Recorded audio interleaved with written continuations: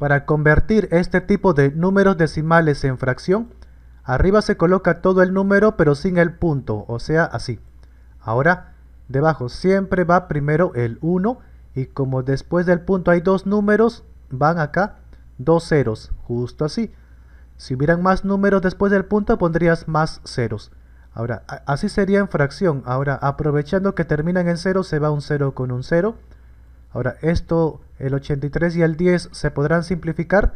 O sea, estos dos números se podrán dividir entre un mismo número. No, ¿verdad? Por ejemplo, 10 se puede dividir solo entre 2 y entre 5, pero el de arriba no se puede ni entre 2 ni entre 5. Por eso, no se simplifica y termina ahí, 83 décimos.